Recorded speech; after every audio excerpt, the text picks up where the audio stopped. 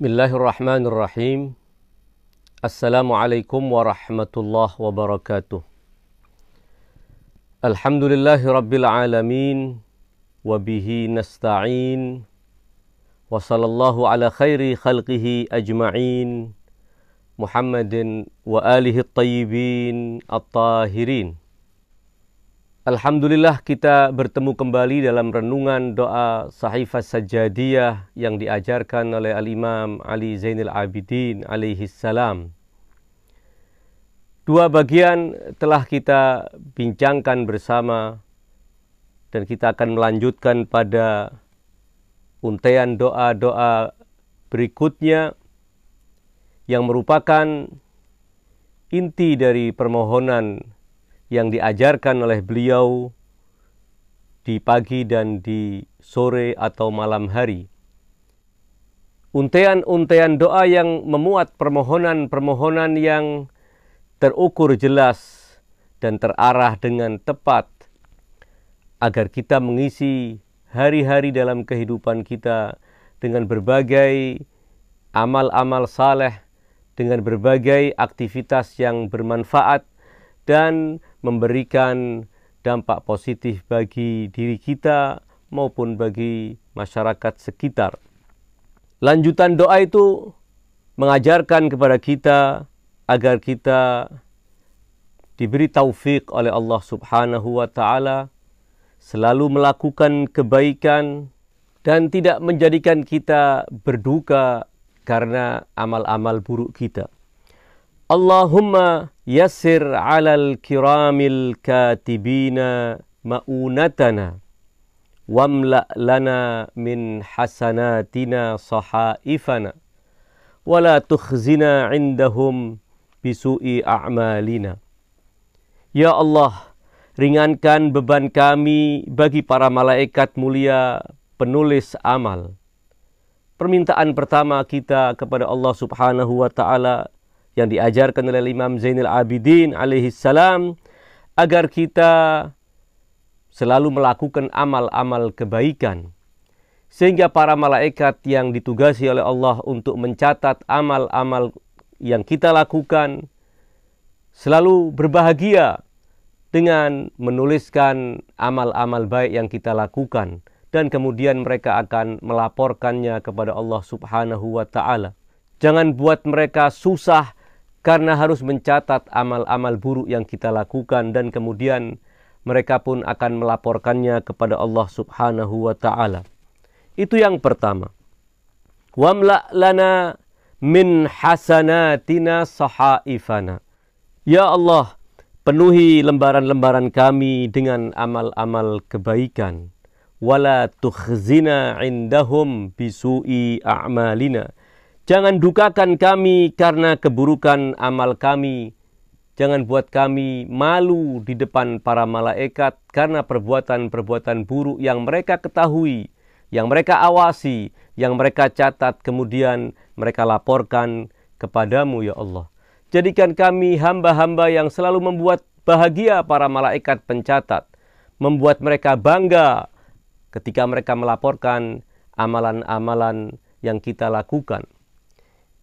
Ada sebuah riwayat yang disebutkan bahwa para malaikat apabila selesai menjalankan tugasnya mencatat amal-amal seorang hamba ia kembali kepada Allah Subhanahu wa taala. Apabila catatan yang mereka bawa adalah catatan yang berisikan amal-amal kebaikan para malaikat itu bergegas dengan sukacita dan menghadap kepada Allah seraya melaporkan amal-amal kebaikan hamba Allah. Namun apabila hamba melakukan keburukan dan buku catatannya dipenuhi dengan amal-amal buruk, malaikat ini akan berduka. Malaikat ini akan merasa sedih dan malu di hadapan Allah Subhanahu wa taala karena harus melaporkan amal perbuatan yang dilakukan oleh hamba. Saya akan menyampaikan sebuah riwayat dari Imam Musa ibn Ja'far al-Kadhim alaihi salam terkait dengan keberadaan malaikat yang Allah tugasi untuk selalu mengawasi dan mencatat amal-amal hamba.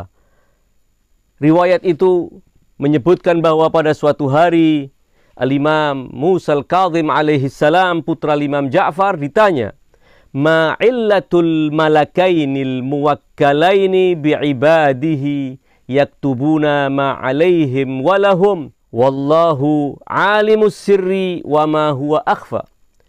Apa alasan keberadaan dua malaikat yang ditugasi untuk mencatat amal-amal hamba, baik amal yang buruk yang akan merugikan hamba yang akan menyengsarakan hamba atau amal kebaikan yang akan membuat hamba bahagia. Sementara Allah Maha mengetahui yang rahasia bahkan yang lebih tersembunyi dari yang rahasia. Maka Al-Imam Al-Kadhim mengatakan faqal ista'badahum bidzalika wa ja'alahum syuhudan ala khalqihi liyakuna al-ibadu limulazamatihim iyyahu ashadda ala ta'atillahi muwadhabatan wa an ma'siyatihi ashaddan kibadan. Wa kam min 'abdin yahummu bi ma'siyatin fadzakara makanahum far'awa wa kaffa. Fayaqulu rabbi yarani wa hafazati alayya bidzalika tashhadu. Alasan atau hikmah di balik keberadaan malaikat adalah karena Allah memperhamba mereka dengan tugas tersebut dan menjadikan para malaikat sebagai para saksi atas hamba-hambanya agar manusia dengan selalu dikawal oleh para malaikat mereka lebih terdorong untuk melakukan ketaatan lebih bersemangat untuk melakukan ketaatan dan lebih menahan diri dari melakukan kemaksiatan. Berapa banyak hamba yang berniat untuk melakukan sebuah maksiat, lalu dia mengingat bahwa ada malaikat yang mengawasinya, maka ia pun kemudian menahan diri dan tidak melakukan maksiat tersebut. Seraya ia berkata, Tuhanku menyaksikan apa yang aku akan lakukan, sementara para malaikat penjagaku akan menjadi saksi kelak di hadapan Allah. Dengan demikian kemudian hamba membatalkan untuk melakukan maksiat tersebut. Itu di antara yang kita minta kepada Allah Subhanahu wa taala dalam untaian doa yang telah kita baca tersebut.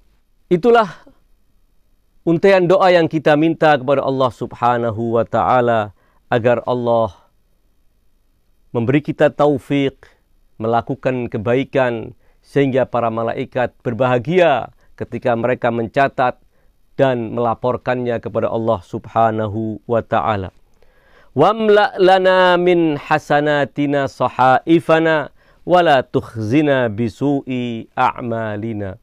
Jangan engkau buat kami berduka ya Allah dengan amal-amal buruk kami. Karena amal-amal buruk itu akan menyengsarakan kami di dunia dan akan mencelakakan kami kelak di akhirat. Kita akan lanjutkan dengan untaian doa berikutnya yang juga memuat permohonan kepada Allah Subhanahu wa taala agar Allah memberikan taufik kepada kita, memberikan kemudahan kepada kita untuk hal-hal yang bermanfaat dalam kehidupan kita. Allahumma ja'al lana fi kulli sa'atin min sa'atihi hazzan min ibadik wa nasiban min syukrik wa syahida sidkin min malaikatik. Untian doa ini juga memuat tiga permohonan. Pertama, Allahumma ja'al ya Allah jadikan untuk kami fi kulli sa'atin min sa'ati dalam setiap saat di hari-hari yang kita jalani agar engkau jadikan untuk kami hazzan min ibadik bagian dari hamba-hambamu. Para ulama menyebutkan bahwa Maksud dari permohonan ini adalah kita meminta kepada Allah Subhanahu wa taala agar kita mendapatkan keberkahan dari hamba-hamba Allah yang saleh. mendapat keberkahan dari hamba-hamba Allah yang memiliki makam yang sangat istimewa di sisi Allah Subhanahu wa taala. Doa mereka, syafaat mereka, perhatian mereka. Kendati pun mereka telah meninggalkan alam fana ini. Di alam mereka, mereka lebih mampu memberikan bantuan kepada kita berupa doa, berupa syafaat. Sebagaimana juga para ulama menyebutkan bahwa makna dari jadikan bagi kami hadzan min ibadik, satu bagian dari hambamu. Berikan kami taufik untuk bisa menyerap ilmu dari hamba-hambamu yang telah engkau pilih. Dari hamba-hamba istimewa yang telah engkau guyur untuk mereka ilmumu. Yang telah engkau anugerahkan kepada mereka makrifat kepadamu agar kami juga mendapatkan sepercik dari ilmu-ilmu mereka. Karena dengannya hamba akan bisa makin mengenal Allah Subhanahu wa taala dan dengan demikian juga hamba akan makin mencintai Allah Subhanahu wa taala. Kita memohon kepada Allah agar hamba-hamba istimewa itu memberikan keberkahannya kepada kita, baik keberkahan berupa ilmu maupun keberkahan berupa manfaat-manfaat lain perhatian, syafaat dan doa mereka. Bagian dari doa ini Allahumma ja'al fi kulli sa'atin min sa'atihi hadzan min ibadik. Dalam salah satu naskah doa sahifah sajadiyah bagian ini diriwayatkan dengan redaksi yang sedikit berbeda. Kata ibadik dalam riwayat Ibn Idris atau dalam naskah kuno milik Ibn Idris adalah hazan min ibadatik. Sehingga makna dari doa itu adalah demikian. Allahumma ja'alana fi kulli sa'atin min sa'atihi hazan min ibadatik. Ya Allah, jadikan untuk kami di setiap saat dari waktu-waktu yang kami lalui dalam hari-hari yang telah engkau anugerahkan kepada kami ini Jadikan untuk kami bagian dari menghamba kepadamu. Jangan jadikan kami orang-orang yang lalai kepadamu. Jadikan kami orang yang selalu menghamba kepadamu ya Allah.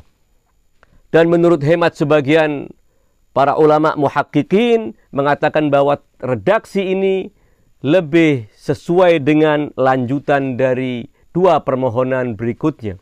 Allahumma ja'alna fi kulli sa'atin min sa'atihi hazzan min ibadatik. Kita memohon agar dijadikan oleh Allah Subhanahu wa taala dalam kehidupan kita satu bagian yang sangat istimewa, satu bagian yang sangat berharga, satu bagian yang sangat mewarnai dalam kehidupan kita yang berupa ibadah kepada Allah Subhanahu wa taala. Tentu penghambaan kepada Allah, ibadah kepada Allah Subhanahu wa taala tidak semata melakukan ritual-ritual, namun juga sebagaimana para ulama membagi makna dan cakupan dari menghamba kepada Allah, cakupan dari ibadah kepada Allah ada tiga bagian. Ada ibadah yang melibatkan badan, melibatkan fisik kita, salat, puasa, haji, dan semisalnya. Sementara ada bagian dari ibadah yang melibatkan akal yang melibatkan jiwa, yang melibatkan pikiran terkait dengan keyakinan-keyakinan, termasuk bagian dari ibadah yang kedua ini. Kemudian ada bagian ketiga dari ibadah, ibadah yang terkait dengan hubungan kita dengan sesama hamba Allah. Islam telah mengatur apabila kita menjalankan kehidupan kita dalam bermuamalah dengan sesama hamba Allah, sesuai dengan aturan agama berarti kita telah menghambakan diri kepada Allah Subhanahu wa taala. Itu yang kita mohon kepada Allah. Kemudian yang kedua dalam untaian doa ini adalah wanasiban min syukrik.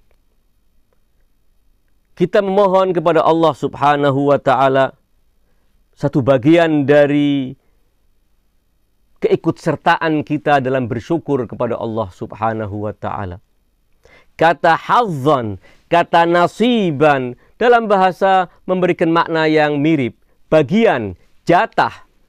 Sebagaimana dalam bagian pertama, Allahumma ja'alana fi kulli sa'atin min sa'atihi hazzan min ibadik. Bagian kedua, wa nasiban min syukrik. Satu bagian dari bersyukur kepadamu. Jadikan kami hamba-hambamu yang bersyukur. Ketika seorang hamba bersyukur kepada Allah subhanahu wa ta'ala, itu membuktikan bahwa hamba memiliki kesadaran bahwa semua nikmat datangnya dari Allah Subhanahu wa taala. Kelanjutan nikmat sepenuhnya bergantung kepada kucuran nikmat dan rahmat dari Allah Subhanahu wa taala. Dan akan ditambahkannya nikmat sepenuhnya juga bergantung kepada syukur hamba atas nikmat tersebut. Sehingga syukur harus menjadi penghias kehidupan kita. Kehidupan kita tidak mungkin kosong dari nikmat Allah Subhanahu wa taala. Sehingga kehidupan kita pun jangan pernah kosong dari bersyukur kepada Allah Subhanahu wa taala. Bersyukur tentu tidak hanya terkait dengan nikmat-nikmat yang besar, nikmat-nikmat yang kecil yang sering kali terabaikan dan terlupakan juga harus menjadi perhatian kita agar kita selalu bersyukur kepada Allah sekecil apa pun nikmat yang kita terima. Jangan kita melihat dari sisi kecil atau besarnya nikmat. Namun perhatikan sisi zat yang telah mengirimkan nikmat itu kepada kita. Salah satu dari sifat terpuji Nabi Allah Ibrahim yang Allah sebutkan di dalam Al-Quran Al-Karim adalah bahwa Ibrahim ala nabiyina wa alihi wa alaihi salam syakiran li an'umihi. Ibrahim adalah hamba yang selalu bersyukur atas an'umihi, nikmat-nikmat Allah. Kata an'um adalah bentuk jamak dari kata nikmat. Namun dalam bahasa Arab, bentuk jamak itu juga ada yang diistilahkan dengan jam'ul qillah dan ada yang diistilahkan dengan jam'ul kasrah. Bentuk jamak namun menunjukkan arti sedikit, jam'ul qillah. Karena bentuk jamak adalah tiga ke atas, empat, lima, enam, masuk dalam bentuk jamak. Namun dia jamak yang sedikit. Ada jam'ul kasrah, jamak yang menunjukkan arti sangat banyak. Boleh jadi ribuan. Dalam bahasa Arab, tiga sudah disebut jamak. Empat disebut jamak. Seribu juga disebut jamak. Ketika ada satu nikmat, maka disebut dengan tunggal nikmat. Ada dua nikmat, nikmatan. Ketika tiga ke atas, maka dia diungkap dengan bentuk jamak. Kata an'um di dalam bahasa Arab adalah bentuk jamak yang menunjukkan arti sedikit. Dan itu mengisyaratkan bahwa Nabiullah Ibrahim alaihissalam selalu bersyukur kepada Allah betapapun nikmat itu sedikit. Beliau tidak menanti ketika mendapatkan nikmat yang besar dan banyak barulah bersyukur kepada Allah Subhanahu wa taala. Ini tentu menjadi teladan bagi kita dan itu yang kita mohon di dalam untean doa yang diajarkan oleh Maulana wa sayyidana wa imamana Imam Zainal Abidin alaihi salam. Agar Allah menjadikan bagi kita nasiban min syukrik satu bagian dari bersyukur kepadamu ya Allah.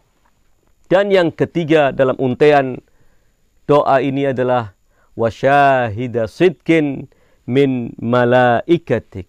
Dan jadikan untuk kami para malaikat itu sebagai saksi-saksi yang jujur untuk kami.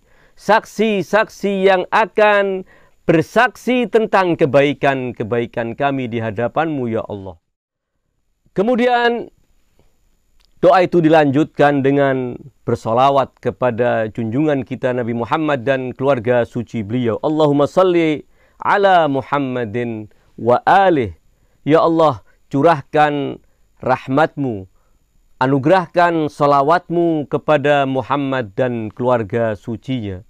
Wahfadna min baini aidina wa min khalfina wa an aimanina wa an syama'ilina wa min jami'i nawahina. Doa yang mengajarkan kepada kita agar kita kembali kepada Allah Subhanahu wa taala, memohon perlindungan karena Allah lah satu-satunya pelindung yang akan melindungi kita. Satu-satunya pelindung yang akan melindungi hambanya dengan penuh kasih sayang. Kita memohon kepada Allah subhanahu wa ta'ala. Wahfadna min baini aidina. Jaga kami dari arah depan. Wa min khalfina dari arah belakang kami. Wa an aimanina dan dari arah kanan kami wa an syama'ilina dari arah kiri kami wa min jami'i nawahina dan dari semua penjuru yang meliputi kami jagalah kami ya Allah. Tentu memohon penjagaan dari Allah agar kita diselamatkan dari mara bahaya agar kita diselamatkan dari sesuatu yang mencelakakan kita diselamatkan dari sesuatu yang akan menghancurkan kebahagiaan kita, sesuatu yang lumrah kita minta ketika kita minta dijaga kesehatan kita, dijaga harta kita, dijaga keamanan sekitar kita. Itu permintaan yang biasa-biasa saja. Karena semua kita mencintai diri kita, sehingga kita memohon kepada Allah agar Allah menjaga kita sehingga kita bisa menikmati kehidupan ini. Namun doa ini tidak sedang mengajarkan doa yang biasa. Tidak sedang mengajarkan agar kita memohon perlindungan dari Allah dengan perlindungan yang biasa, melindungi sesuatu yang sifatnya materi dan hanya sesaat, kenikmatannya pun sesaat, kesengsaraannya pun andai menyerang kita juga sesaat.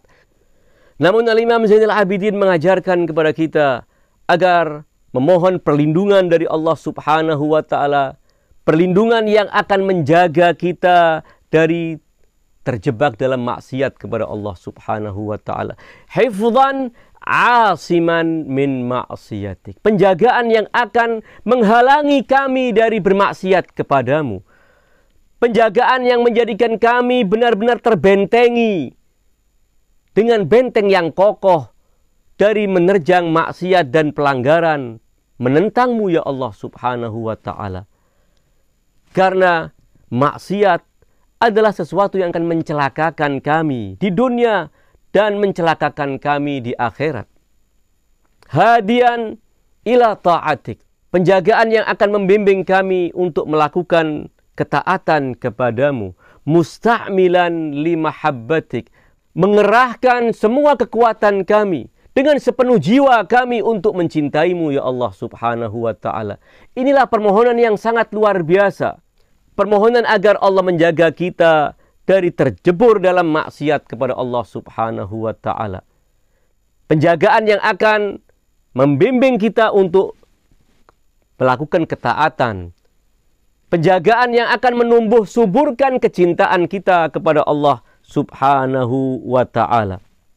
Hifdan asiman min maksiatik hadiyan ila ta'atik musta'milan limahabbatik. Inilah dua untean doa Al-Imam Zainil Abidin alaihi salam yang mengajarkan kepada kita enam permintaan. Dalam dua untean doa itu, kita menemukan bahwa Al-Imam Zainil Abidin menanamkan tentang kesadaran akan waktu yang sangat berharga yang harus kita isi dengan ketaatan dan menanamkan kita harus berlindung kepada Allah Subhanahu wa taala dalam menjalankan kehidupan ini. Jangan pernah merasa bisa mengalahkan semua rintangan tanpa bantuan Allah Subhanahu wa taala. Jangan pernah seorang hamba merasa mampu melaksanakan semua cita-citanya yang mulia dan luhur tanpa bantuan Allah Subhanahu wa taala memohon kepada Allah agar dihindarkan dari hal-hal yang mencelakakan dan meminta kepada Allah agar dibimbing untuk melakukan hal-hal yang membahagiakan. Kemudian beliau melanjutkan dengan untean doa yang mengajarkan kepada kita 14 agenda hidup harian yang mengajarkan kepada kita agenda harian yang agar kita menjalankan hari-hari kita dengan melaksanakan agenda-agenda tersebut. Karena agenda-agenda itulah yang akan membuktikan jati diri kita. 14 agenda itu telah dirangkum dengan ringkas dan sangat rapi oleh Imam Zainul Abidin alaihi salam. Allahumma salli ala Muhammadin wa alih. Ya Allah curahkan, anugerahkan salawatmu kepada Muhammad dan keluarga Muhammad. Wa waffiqna fi yaumina hadha. Ya Allah beri kami bimbinganmu, beri kami taufikmu di hari ini, di pagi ini, wa fi hadhihi dan di malam nanti bimbing kami wa fi jami'i ayyamina dan di sepanjang kehidupan kami hari-hari kami bimbinglah kami untuk mengisi hari-hari kehidupan kami dengan 14 agenda ini. Beliau mengatakan listi'malil khair agar kami melaksanakan kebaikan Permohonan pertama adalah agar Allah memberi taufik kita untuk kita melakukan kebaikan. Al-khair adalah semua kebaikan yang diridhai oleh Allah Subhanahu wa taala. Kita menemukan dalam banyak ayat Al-Qur'an bagaimana Allah menekankan agar kita melakukan kebaikan. Kebaikan untuk diri kita maupun untuk orang lain. Allah Subhanahu wa taala tidak hanya meminta kita agar rajin melakukan ritual-ritual yang kita anggap ibadah hanya semata ritual. Namun Islam ingin mengatakan bahwa semua kebaikan yang kita lakukan apabila kita niatkan untuk mendekatkan diri kepada Allah Subhanahu wa taala itulah ibadah. Ayat Al-Qur'an di antaranya dalam surat Al-Hajj ayat ke-77 Allah berfirman, "Ya ayyuhalladzina amanu irka'u wasjudu wa'budu rabbakum waf'alul khaira la'allakum tuflihun.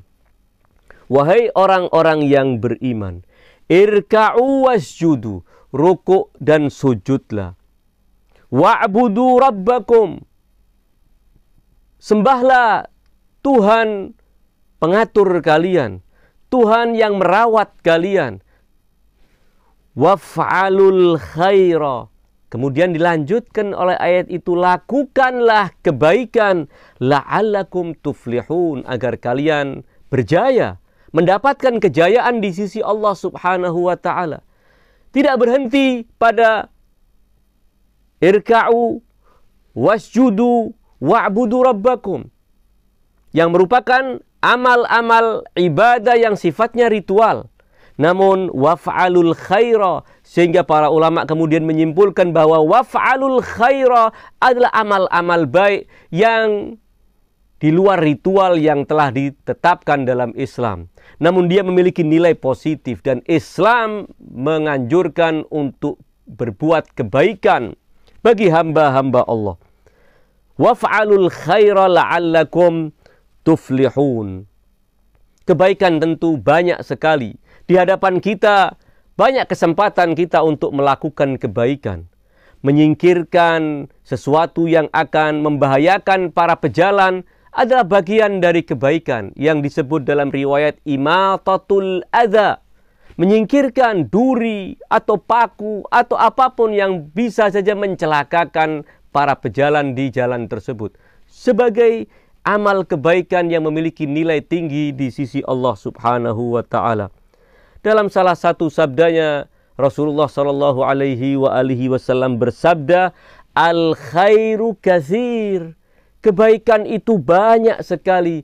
Wa fa'iluhu qalil. Namun sayang, pelakunya sedikit.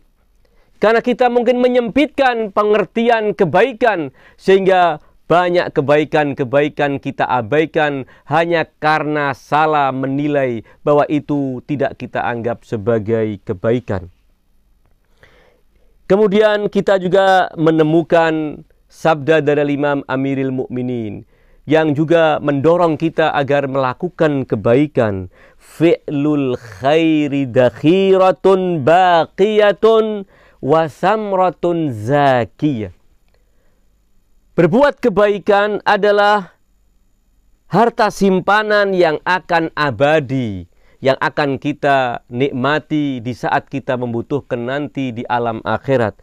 Wasamratun zakiyah dan dia buah yang terus akan berkembang.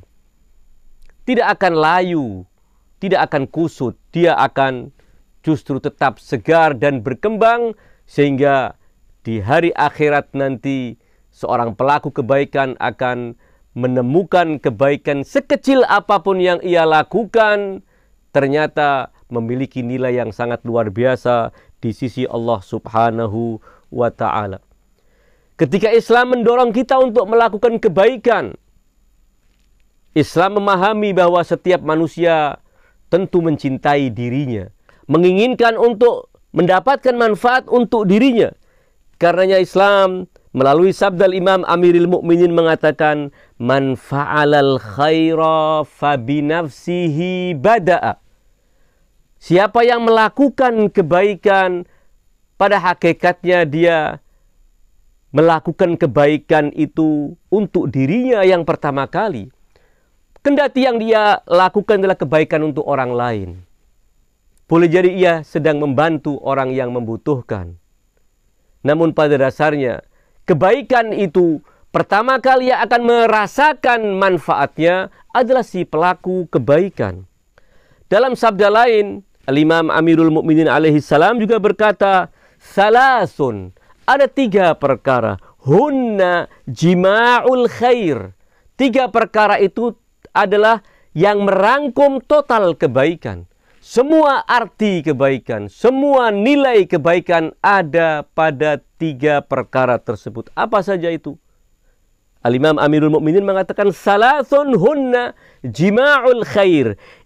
Isda'un ni'am, memberikan nikmat kepada orang lain, berbagi kebahagiaan kepada orang lain tidak memonopoli kenikmatan untuk dirinya sendiri dan keluarganya, namun juga memberikan kepada orang-orang yang membutuhkan.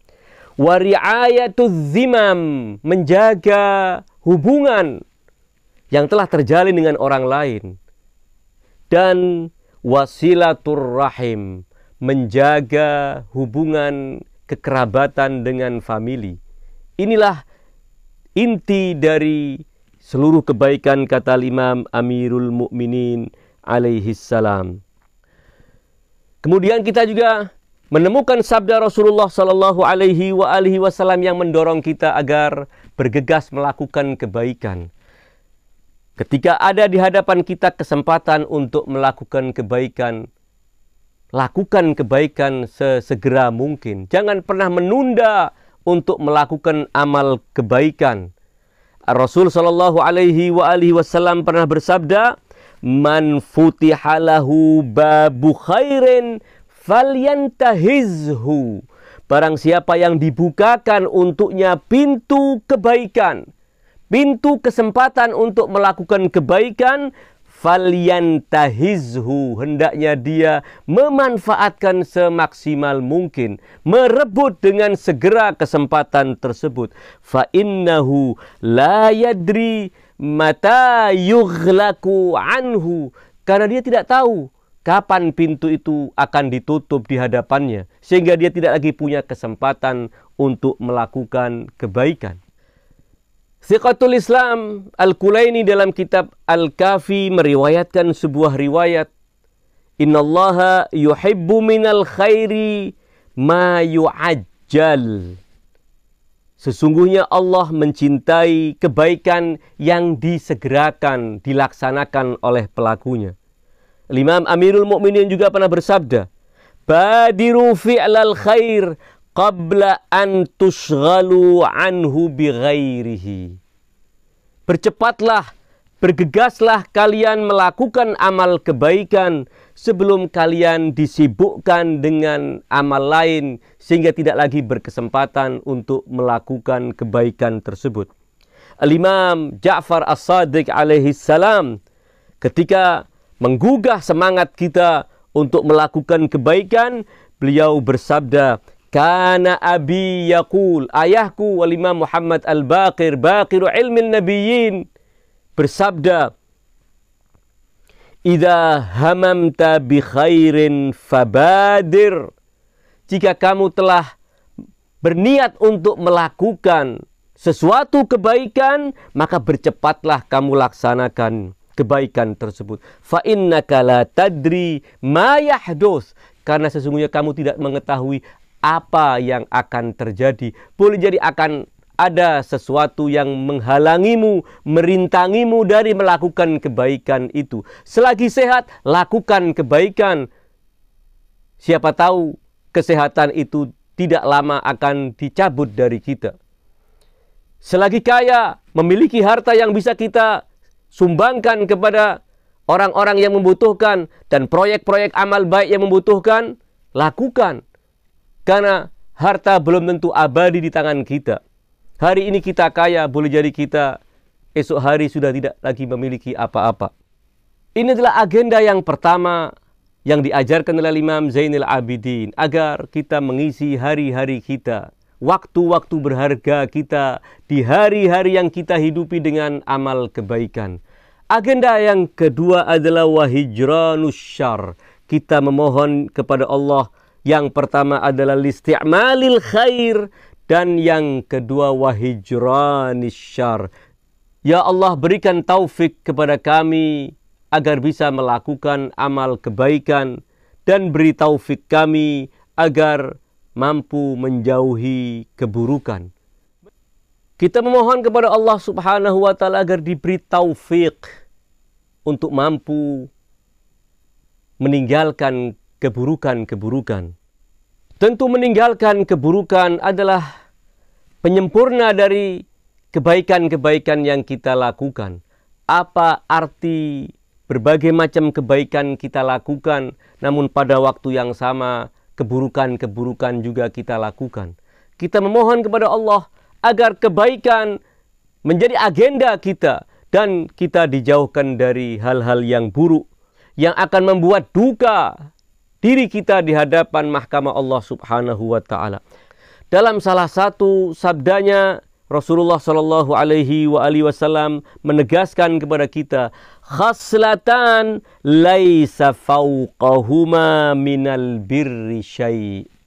Ada dua perkara yang tiada kebaikan apa pun yang mengunggulinya. Tiada kebaikan di atasnya. Inilah yang terpuncak dari kebaikan itu. Apa kata beliau? Al-imanu billah wa naf'u ibadillah beriman kepada Allah dan bermanfaat bagi hamba-hamba Allah. Ini yang pertama. Yang kedua kata beliau, wa khaslatan juga ada dua perkara. Laisa fauqahuma minasyarri syai'un. Tiada keburukan yang melebihi keburukan dua perkara ini. Inilah dua perkara buruk yang paling puncak dalam keburukan.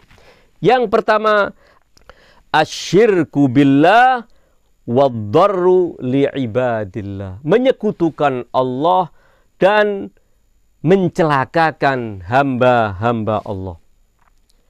Ketika kita memohon kepada Allah agar dijauhkan dari perbuatan buruk, perbuatan buruk yang akan mencelakakan diri kita, maupun perbuatan buruk yang akan mencelakakan orang lain, perbuatan buruk yang akan menyengsarakan kita, maupun perbuatan buruk yang akan menyengsarakan orang lain. Kita harus mencintai orang lain sebagaimana kita mencintai diri kita. Kita harus mencintai untuk orang lain sesuatu yang juga kita cintai untuk diri kita. Ini yang diajarkan agar menjadi agenda kita. Wahijranis syar. Ya Allah, beri kami taufik beri kami bimbingan, beri kami kemudahan, jauhkan dari kami berbagai rintangan agar kami bisa melakukan kebaikan dan agar kami bisa menghindarkan diri dari keburukan-keburukan. Al-Imam Amirul Mukminin alaihi salam mengatakan bahwa kejahatan itu adalah buruk. Namun yang lebih buruk dari kejahatan itu sendiri adalah pelaku kejahatan itu. Beliau berkata, fa'ilus syar syarrun minhu. Pelaku kejahatan itu jauh lebih jahat, jauh lebih buruk dari keburukan itu sendiri. Terkait dengan kebaikan dan keburukan, saya ingin membacakan satu sabda dari Imam Amirul Mukminin alaihi salam sebagaimana disebutkan dalam Nahjil Balaghah. Beliau mengatakan demikian, if'alul khaira wala tuhaqqiru minhu syai'a. Lakukan kebaikan dan jangan pernah meremehkan satu bagian dari kebaikan walaupun itu dalam pandanganmu remeh walaupun itu dalam pandanganmu adalah sesuatu yang kecil if'alul khaira wala tuhaqqiru minhu syai'a betapapun itu sesuatu yang kecil namun ketika dilakukan dengan penuh keikhlasan maka nilainya sangat besar di sisi Allah Subhanahu wa taala fa inna saghirahu kabirun wa qalilahu kathir. Karena kebaikan yang kecil itu besar di sisi Allah. Dan kebaikan yang sedikit yang kamu lakukan itu banyak di sisi Allah subhanahu wa ta'ala. Wala yaqulanna ahadukum dan jangan seorang dari kalian sekali-kali berkata inna ahadan aula bifi'lil khair ada orang lain yang lebih utama untuk melakukan kebaikan itu. Jadi bukan aku yang pantas untuk melakukannya. Fayakunu wallahi kadzalik. Kalau kamu mengatakan bahwa perbuatan baik ini mungkin yang lebih pantas melakukannya adalah si fulan, bukan saya. Jika kamu berpandangan semacam demikian demi Allah, itulah yang akan terjadi bahwa orang itulah yang lebih pantas untuk melakukan kebaikan dan dia yang lebih berhak untuk mendapatkan kemuliaan di sisi Allah. Sementara kamu akan terusir kamu akan tersingkir dari termasuk orang-orang yang layak untuk melakukan kebaikan.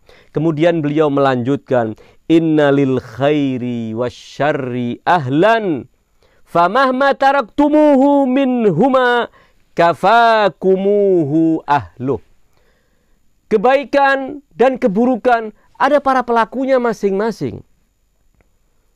Kalaupun kamu meninggalkan kebaikan, ketahuilah bahwa akan ada orang lain yang melakukan kebaikan. Sebagaimana juga apabila seorang meninggalkan keburukan, nanti juga akan ada orang lain yang melakukan keburukan.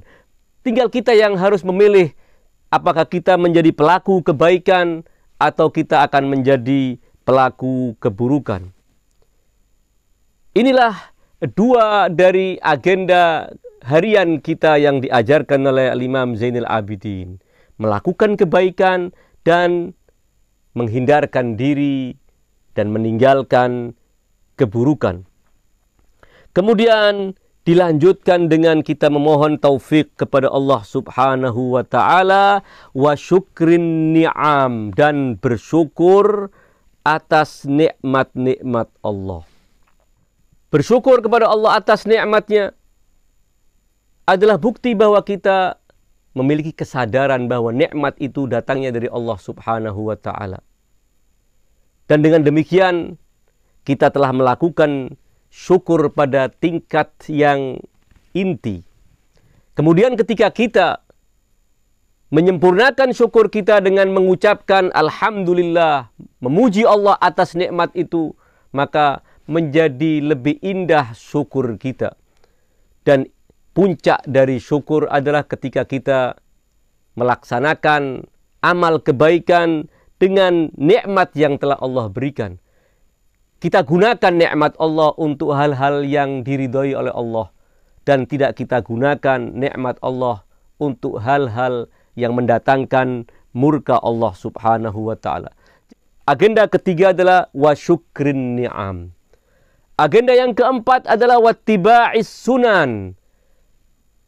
Mengikuti sunnah, sunnah yang telah diajarkan oleh baginda Rasulullah Sallallahu Alaihi wa alihi Wasallam. Sunnah dalam arti ajaran, bukan sunnah dalam arti tandingan dari kewajiban, sesuatu yang wajib dan sesuatu yang sunnah Sunnah adalah sesuatu yang apabila kita lakukan mendapatkan pahala dan apabila tidak kita laksanakan kita tidak mendapatkan dosa. Tentu yang dimaksud dengan sunan jamak sunnah bukan dengan pengertian tersebut. Namun dengan pengertian adalah ajaran. Ittiba'is sunan, mengikuti ajaran. Jadi sekali lagi maksud dari sunnah yang bentuk jamaknya adalah sunan dalam konteks seperti dalam doa ini adalah maknanya bimbingan. Yaitu artinya adalah ajaran. Sebagaimana juga dalam riwayat yang sangat masyhur an-nikahu sunnati faman raghiba an sunnati falaisa minni. Tentu yang dimaksud bahwa nikah adalah dari sunnahku adalah nikah adalah bagian dari ajaranku. Ajaran Islam telah menegaskan tentang nikah yang akan menggabungkan antara dua pasangan. Kembali bahwa kita memohon kepada Allah Subhanahu wa taala agar diberi taufik untuk ittiba'is sunan, mengikuti ajaran sesuai dengan bimbingan, sesuai dengan aturan yang telah ditetapkan oleh agama, baik dalam ritual yang kita laksanakan maupun dalam menjalankan kehidupan keseharian kita. Inilah bahwa kita melakukan kehidupan kita, kita menjalankan hari-hari kehidupan kita sesuai dengan bimbingan. Wattiba'is sunan wa mujanabatil bid'ah dan menjauhi hal-hal yang bid'ah yang tidak diajarkan oleh Islam namun kita anggap itu adalah bagian dari ajaran Islam mengada-ngada atas nama Islam. Ini agenda yang kita juga diajarkan oleh Imam Zainul Abidin. Wattiba'is sunan dan yang kelima adalah wa mujanabatil bid'ah. Kemudian Al-Imam Zainul Abidin melanjutkan wal amri bil ma'ruf, memerintah yang ma'ruf sesuatu yang baik yang telah dikenal oleh fitrah sehat manusia, yang telah diajarkan oleh agama. Kita memerintahkan, kita menganjurkan kebaikan. Wa an-nahyi 'anil munkar, mencegah yang buruk. Dalam skup yang paling kecil terhadap keluarga kita, kita perintahkan yang baik, kita larang hal-hal buruk di tengah-tengah mereka. Sampai pada skup yang lebih luas, kita menganjurkan yang baik, kita mengingatkan masyarakat agar tidak melakukan keburukan, agar tidak melakukan kemungkaran. Agenda berikutnya adalah wahyatatil Islam. Menjaga dan mempertahankan Islam. Wantiqasil batil, meruntuhkan kebatilan, membuktikan kepalsuan-kepalsuan yang menjadi pilar dari kebatilan tersebut. Betapapun dikemas dengan kemasan yang mungkin menipu, kita akan lucuti, kita akan buktikan kepalsuan, kepalsuan yang mendasari kebatilan tersebut. Wantiqasil batili wa izlalihi, meruntuhkan kebatilan dan merendahkannya. Wa haqqi wa i'zazihi, dan membela kebenaran dan menegakkannya. Membela kebenaran dan menegakkan kebenaran dengan semampu yang kita miliki, dengan kalimat, dengan tulisan, dengan sikap, dan semua yang kita bisa lakukan untuk menegakkan kebenaran, menegakkan al-haq, agar kalimatullah menjadi hiyal ulya, kita harus lakukan. Dan itu, kata Imam Zainal Abidin, harus menjadi agenda harian kehidupan kita. Wa irsyadid Bagian yang berikutnya adalah irsyadid dal, membimbing orang yang tersesat. Orang yang tersesat jalan diibaratkan dalam sebuah ayat, orang yang tidak menemukan kebenaran, yang hidup dalam kekafiran, yang hidup dalam kesesatan digambarkan oleh sebuah ayat sebagai orang yang mati dan yang menyelamatkan orang yang sedang tersesat jalan membimbingnya sehingga menemukan kebenaran sama artinya dengan dia menghidupkan orang tersebut dari kematian. Ada sebuah ayat dalam surat Al-Maidah yang makna secara zahirnya terkait dengan nyawa manusia. Waman ahyaha faka'annama ahyan nasa jami'a. Sebagaimana membunuh seorang itu artinya sama dengan melenyapkan nyawa semua manusia. Demikian juga waman ahyaha faka'annama ahyan nasa jami'a. Yang menghidupkan satu jiwa sama artinya dengan dia menghidupkan seluruh manusia. Namun ada makna batin, makna yang tersirat, makna yang harus diambil dari makna batin ayat tersebut. Al-Imam As-Sadiq menjelaskan kepada kita demikian. Ketika beliau ditanya tentang makna ayat ini, beliau membidik pada makna batin tersebut. Beliau kemudian mengatakan, Man akhrajaha min dolalatin ila hudan, faka'annama ahyaha. Barang siapa yang mengeluarkan satu jiwa dari kesesatan menuju petunjuk Allah, maka seakan dia telah menghidupkan jiwa tersebut. Karena kesesatan adalah kematian. Hidup di atas hidayah Allah adalah hidup yang sejati. Waman akhrajaha min hudan ila dalalatin faqad qatalaha. Barang siapa yang mengeluarkan seorang yang sudah berada di atas hidayah Allah, kemudian dikeluarkan menuju kesesatan, maka dia sama dengan telah membunuhnya. Ini yang dijelaskan oleh Imam As-Sadiq alaihi salam. Kekafiran, kemusyrikan adalah kesesatan. Keimanan, berserah diri kepada Allah Subhanahu wa taala, ketaatan, kepatuhan adalah inti dari kehidupan. Inilah yang juga harus menjadi agenda harian kita.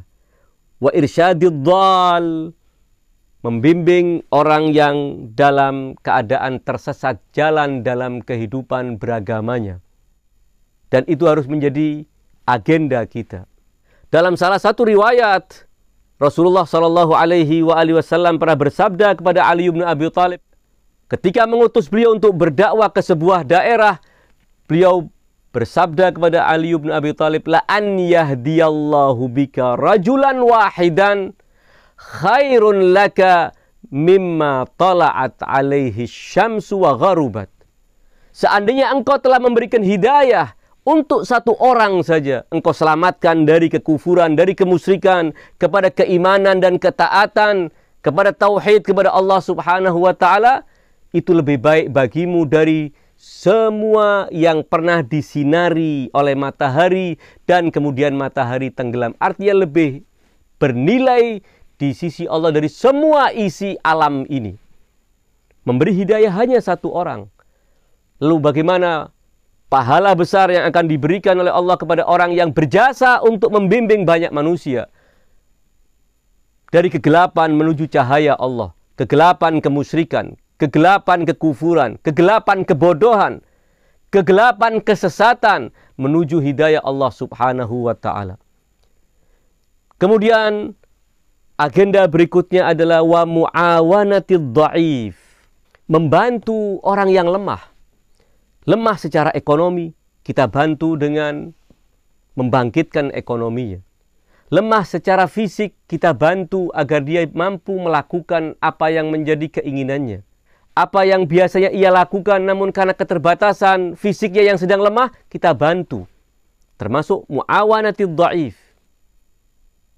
Membantu orang yang lemah Seorang yang lemah dalam menghadapi kezaliman, orang yang merampas haknya, kita beri pembelaan dia agar tetap bisa mempertahankan haknya dan tidak direbut oleh orang-orang rakus yang ingin merampas haknya. Dan agenda yang ke-14 adalah wa idrakil lahif.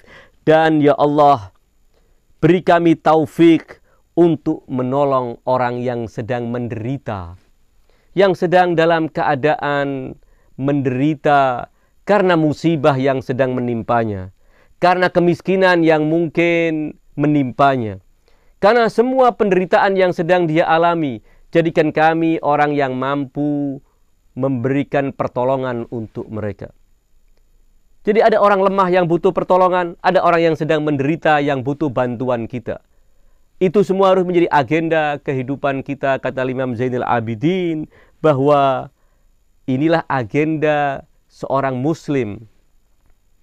Dan seperti yang telah saya sebutkan di awal pertemuan, pada pertemuan pertama bahwa doa-doa ahlul bait tidak sekedar mengajarkan hamba pandai meminta kepada Allah untuk kebutuhan-kebutuhan dirinya, namun juga doa-doa ahlul bait memuat ajaran, memuat agenda.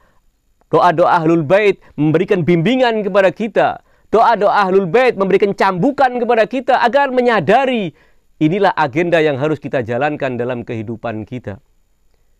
Mudah-mudahan renungan kita terhadap doa sahifah sajadiyah yang diajarkan oleh Imam Zainal Abidin terkait dengan beberapa permohonan kita dan kita tutup dengan untaian doa ke-18 dari doa dengan nomor urut 6 pada sahifah sajadiyah yang memuat 14 agenda hidup dan agenda harian seorang muslim.